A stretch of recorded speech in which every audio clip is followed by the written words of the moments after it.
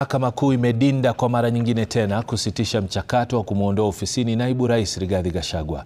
Jaji Bahati Mwamuye ameagiza kuwa kesi iliyowasilishwa na aliyekuwa katibu mkuu wa chama cha UDA Cleophas Malala iwasilishwe mbele ya Jaji Chacha Mwita kwa maagizo zaidi. Haya ni huku bunge likitaka masuala yote yanayohusiana na mchakato wa kumwondoa Gachagua yajumuishwe, kwani hoja hizo zinaibua masuala sawia.